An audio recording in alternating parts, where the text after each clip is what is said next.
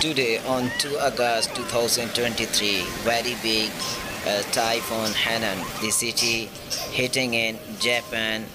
Uh, dear audience, you can see now in this video, many bridges were collapsed due to heavy floods and heavy rain system.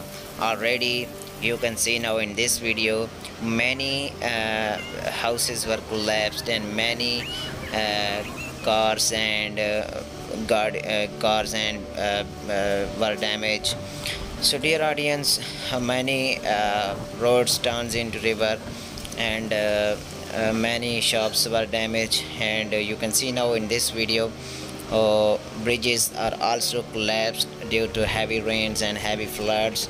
And uh, uh, the water level is very high and wind speed is also very high. The millions of people were uh, evacuated. So dear audience this is the latest footages in japan typhoon.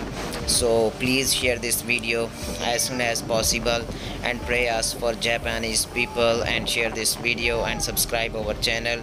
So dear audience uh, subscribe us because i will provide you regular videos